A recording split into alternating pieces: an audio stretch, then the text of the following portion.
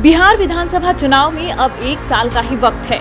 लंबे समय से बिहार की सत्ता में आने की कोशिश कर रहे राष्ट्रीय जनता दल को दो बार मौका तो मिला, लेकिन हर बार सत्ता की गाड़ी की ड्राइविंग सीट पर तेजस्वी यादव नहीं बैठ पाए।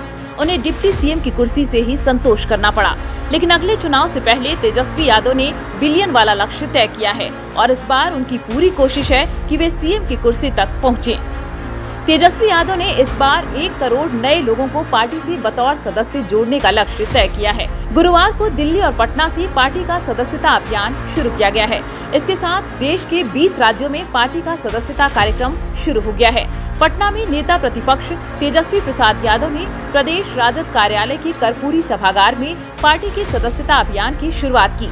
तो दिल्ली में राष्ट्रीय अध्यक्ष लालू प्रसाद यादव ने बिहार में अगले साल विधानसभा के चुनाव होने वाले हैं। इसके मद्देनजर पार्टी ने सदस्यता अभियान में पूरी ताकत झोंक दिया है। लालू प्रसाद ने नई दिल्ली में पार्टी सांसद डॉक्टर मीसा भारती के आवास पर अभियान की शुरुआत की। तेजस्वी को प्रदेश अध्यक्ष जगदानंद सिंह, पूर्व विधानसभा अध्यक्ष अवध बिहारी चौधरी ने तो लालू को राष्ट्रीय प्रधान महासचिव अब्दुल बारिश सिद्दीकी आदि ने सदस्यता रसीद की। इसके साथ ही बिहार सहित देश के 20 राज्यों में सदस्यता अभियान शुरू हो गया। नेता प्रतिपक्ष तेजस्वी यादव ने कहा कि हम लोगों का प्रयास सभी जाति, धर्म एवं वर्ग के लोगों को पार्टी से जोड़ना है। कार्यकर्ताओं को एक करोड़ सदस्य बनाने का लक्ष्य दिया। तेजस्वी यादव ने इस मौके पर कहा कि भाजपा के दिल्ली और बिहार में जितने सदस्य हैं, उतने वोट भी उन्हें नहीं मिलते। राजद कार्यकर्ता घर घर जाकर पार्टी का सदस्य बनाएँ।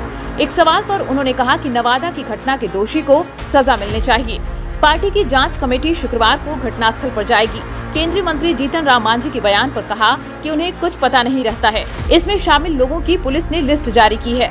वे केंद्र सरकार में हैं, राज्य सरकार पर दबाव बनाकर दोषी को सजा दिलाएँ।